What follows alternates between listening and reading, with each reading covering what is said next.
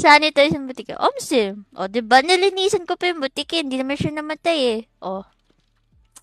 Say thank you to me. Huwag niyo awayin kasi, kasi, ah, nilinisan ko lang siya. Promise. Nilinisan ko lang yun. Ano daw si Eliza ni Jean, yan ang babae, madami nahuhulog at nagkakagusto pero sa likod ng mga ngiti. Niya pinagrarado may mga pagliro din siya pero pala si sa family. Ay! May pa naman. Ako po yung butiki ate. Kamusta yung alcohol? Pinaliguan kita sa, ano eh, sa alcohol. Ang ganda mo ate, baby. Oh my gosh.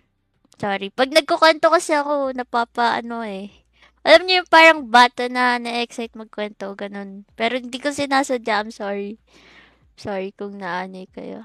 Thank you. Thank you so much for the stars. Thank you, Mark Mazo. Thank you din sa mga nag-share dyan. Thank you so much, Jamboy. Thank